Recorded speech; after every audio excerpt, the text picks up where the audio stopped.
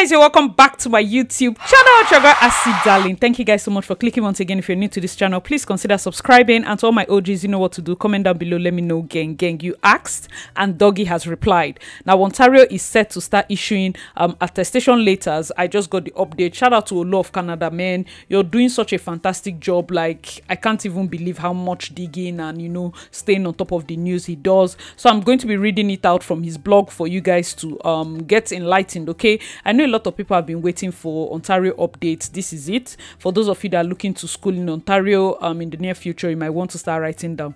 Okay, so it starts by saying, um, looks like Ontario is ready to is ready for its PAL, which we call provincial attestation letters process. This was released today. The Ontario government is taking action requiring all publicly assisted colleges and universities to have a guarantee that housing options are available for in incoming international students.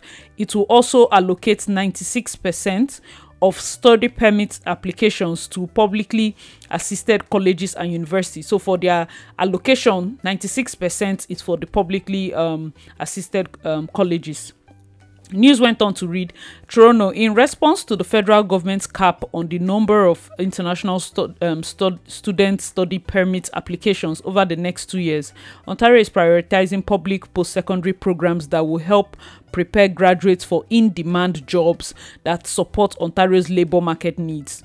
We are protecting the integrity of our province's post secondary education system by attracting the best and the brightest international students to Ontario to study in areas that are critical to our economy, said Jill Dunlop, the Minister of Colleges and Universities. We have been working with post secondary institutes um, institutions to ensure international students are enrolled in programs to support pipeline of graduates for in-demand jobs. On to say French language enrollment will also be prioritized as employers compete for workers with French language skills. The government will work with um, colleges and universities to support them in standing up and transitioning to programming that is aligned with labour market needs and supports Ontario's economic growth. Most international students are seeking most international students seeking to study in Ontario must provide a provincial letter of attestation with their study permit application. This letter serves as proof that the applicant has been accounted for within the maximum allocation set by the federal government. To acquire an attestation letter to study in Ontario, students should contact the admission office at their Ontario post-secondary institution where they have accepted their offer of admission and intend to enroll. Students must also visit the ministry website for more information. Ontario will allocate 96% of permit applications to publicly assisted colleges and universities, with the remaining 4% allocated to or allotted, sorry, to Ontario's language schools, private universities, and other institutions career colleges will not receive any applications career colleges will not um, receive any international student application. So um, applications will be al um, allocated to institutions based on the following criteria. Number one prioritize programs in the following high demand areas. This is one of the things i suspected and the reason i want to break it down is so it doesn't just go over my head. I suspected that people will start they will start prioritizing certain areas. You cannot just come and spend twenty thousand dollars to study dancing, theater, language, rocks. You can't do that. You cannot even you can't waste that kind of money. So now they are they are being more specific. And also I suggested that I or what will I say? I speculated that colleges will want to even put priority on the courses that have high tuition the uh, um, science courses that um, cost more to study because if you're giving me only 5000 people i want to make the most of that number. Guys let me know your thoughts okay? So the province ontario is looking at people um, um, programs that are going to prioritize the following areas skilled trade. Now even though you're coming and you say oh i don't just want to study anything the the one that you want to study that is a trade should be an actual trade. Do you understand? A trade that is in demand. So that's for the um, um, colleges. You have health, human resources, STEM, hospitality, and childcare. The second one is cannot, I didn't see business here. That is the part that we are still going to be talking about. So you need to look at the this thing before you you apply and ask your school, okay? The second point is can't exceed the institution's tw- um, 2023 permit level. So you must not exceed. If they gave Seneca only 500, you cannot exceed 500. Um, the third point is as a final backstop, the ratio of international permits can't cannot exceed 55% exclusive of high demand areas of the institution's 2023 first year domestic enrollment. So international permit should not be more than 55% on then they will take the maybe the remaining 45 should be domestic. To protect international post-secondary students and ensure that they have a positive and rewarding experience when studying in Ontario, the government is number one is taking action requiring all publicly assess, um, assisted colleges and universities to have a guarantee that housing options are available for incoming international students. Number two, invested over 32 million in 2023-2024 to support mental health of all post-secondary students. This includes funding provided directly to post-secondary institutions through multiple grants. Point number three, introduce the Strengthening Accountability and Student Support Act 2024 that would, if passed, help to en enhance the student experience by putting in place additional measures to support mental health, safe and inclusive campuses, also for increased transparency of fees benefiting all students, including international students. Guys, let me know your thoughts in the comment section. It went on to say international students may apply for postgraduate work permit after graduating from an eligible DLI in Canada. Ontario approves DLI under the Joint Provincial Federal International Student Program. DLIs are eligible to enroll international students in programs of study six months in duration or longer, as permitted on study permits issued by IRCC. Okay, um, this part you guys already know. As part of the changes announced by the federal government in January 2024, international students who begin a program at a publicly assisted college that is delivered through a private partner will not be eligible for a post-graduation work permit starting May 15, 2024. So those of you that were going to those schools, I've done several videos on it. I hope you're watching. Don't just pick a random school. Be sure to, if your school is a private school that is attached to a, a, a public school that is somewhere operating in one shabby place in Toronto, please know that you will not get work um, postgraduate work permit. So you're wasting your money. Do you understand? If you don't want a situation whereby you leave the country and you don't have anything, like you finish school and you cannot work, I've met some people that even before this announcement, they were paying to study at Toronto School of Management. It wasn't even a DLI. Say, eh, let me just enter Canada first. When I finish, I'll go to another school. So you just want to waste 15,000, 18,000, 20,000 for no good reason.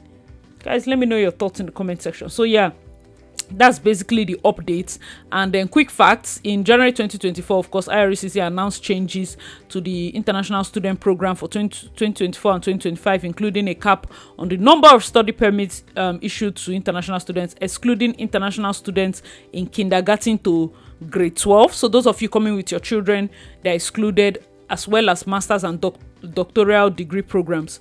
Also another quick fact um, 22 out of the 23 um, universities will keep applications at 2023 level. Only Algoma University will see a decline from its 2023 application. 11 out of the 24 colleges will keep application at 2023 level. Colleges with public-private um, college partnership and Conestoga College will see a decline. Guys, I have said it before, Conestoga has been targeted.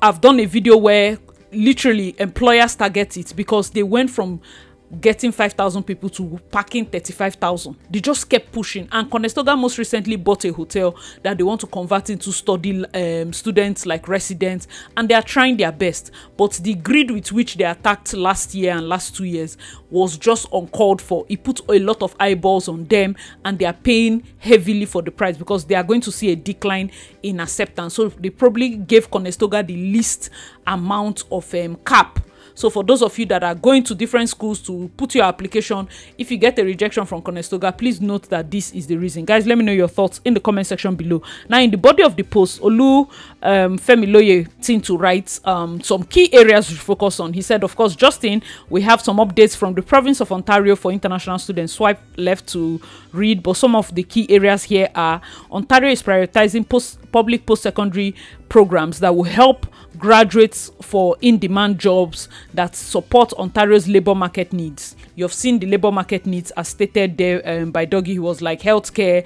You know, we have um, um, some trade trade jobs hospitality because we have hotels restaurants and the rest hospitality um they put also stem courses there and uh, um i think which other one did he even put there STEM courses, um, hospitality, childcare, yes, health, human resource also.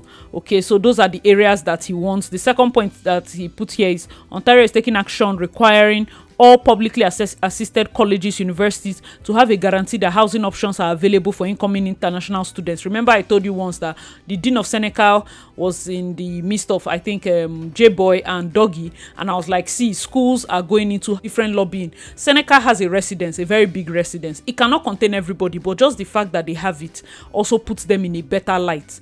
Um, I think Centennial has a residence. There are schools that have like big residences that are, of course, well known. They are even having plans to expand. These are schools that are big enough to say, you know what, we this is what we have on ground. They might not even have gone too far with the new expansion but the fact that it is on ground it gives the government the idea that okay you're doing your best to you know walk in the right direction. So those schools are going to be rewarded. Ontario will um, allocate 96 percent of the permit applications to publicly assisted um, colleges and universities with the remaining 4 percent to language school private school and other institutions. Career colleges will not receive any application. However career jobs were one of the things that he was looking for do you guys remember?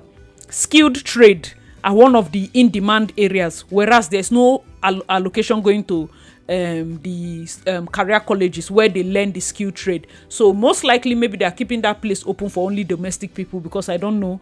Guys let me know your thoughts. Yeah um, um, career colleges will not uh, receive any al- uh, allocation for international application. So I don't know how they plan to solve that part.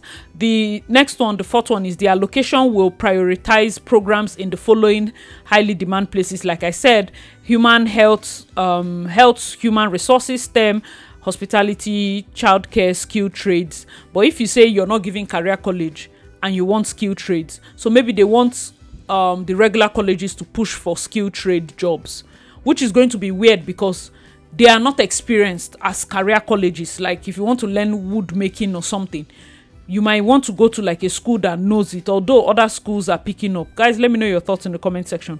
Okay so the next one says to acquire an attestation letter to study in ontario students should contact their admissions office. This is very important if you plan to study. I'm telling you that for most colleges 20, uh, september is already finished. So if you still if you still haven't gotten admission just know that you should be looking at january. Um but I mean, some schools that are not as popular might still have slots. You can try your luck. Um, they are saying that you contact your admissions office at the Ontario Post Secondary Institution where um, you've accepted your um, offer of admission and your intent to enroll. So 22 out of the 23 universities will keep the application as a 2023 level. That, that is the amount of people that they got.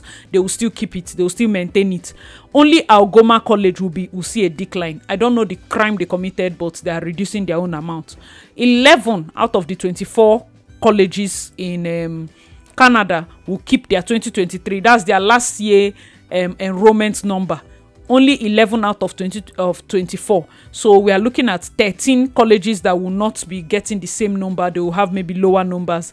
Then the colleges with um, those ones that have partnerships that probably have like some um, campuses in Toronto here and there scattered that they used to use and just get money. Those ones and Conestoga will see the largest decline. So this information is very important because it also helps you, the person, knowing what to decide and where to go. It is very important for you to know that this this attestation thing they are not going to prioritize. If you're going to even go to Conestoga, note that Conestoga might not have slots for business. Do you understand? You have to do a STEM course. Nobody's going to priori- um, prioritize business. I didn't see business there. do you get so i'm just i'm just trying to be as frank as possible i didn't see business there anything business uh, when they say skill trade i feel like you should go through your school um, um, i didn't even see human resource which is weird go through your school program and look through it again if you can even call because at this point i'm sure schools will be able to should be able to advise you know it's not just enough to just allow the person the school should also be able to advise and say you know what? Go to this one choose this one or don't choose this one. Guys let me know your thoughts in the comment section. What do you think about all these announcements? For me eh, i'm just happy that ontario has at least said something you understand? Because they have the bulk of the schools that are bringing so many international students. So for them to have taken this long it put a lot of people um at, at an edge or how would i put it? And um, there you know that there are many people that are still waiting for may um, um, May like um, enrollments. There are many people that are, are waiting, and the thing with May is going to be so tricky because they will have the lowest the lowest intake. Why? Because for some people, they cannot even guarantee that the moment the attestation letter comes through, with the visa agents, another point will be maybe visa agents are going to be very, very, very fast when it comes to um, doing the application. Like visa agents should be going through it back to back, fast, fast, fast, fast. That's the only way that will say, okay, for these ones, um, there's no problem. You can still meet May semester. But if the visa agents are going to be taking their sweet time, the way Canada used to take sweet time, it will not work. So unless Doggy can also tell IRCC, now you see the ones that get um, attestation later, please look at the application very fast if you're okay with it let's do this thing in four days five days so that they buy their ticket and they can show up at their colleges else may semester is going to be messed up in a lot of schools. They are going to see reduce reduce numbers because it's, it's it's practically rush at this point okay? Guys let me know your thoughts in the comment section below. That's the update from Ontario. A lot has been happening, and um, I will try my best to keep you guys updated. Sorry that yesterday's video came out a bit late. I was far from my phone, and by the time I even uploaded it, the phone just just went dead. So i had to um, come back home charge it and put it up and i'm so sorry. I have been on a roll and god has just been helping me. So i was like instead of just saying you know what? Let me shift it i'm like no matter how late i'm going to put out the video and i want to thank you guys the ones that were able to still watch it. If you have not watched it after this video please check it out. Um very fantastic information as always thank you so much for watching i'm your girl acid zali. Hope you enjoyed this video. Please check out my other videos and i'll see you in my next one. Bye guys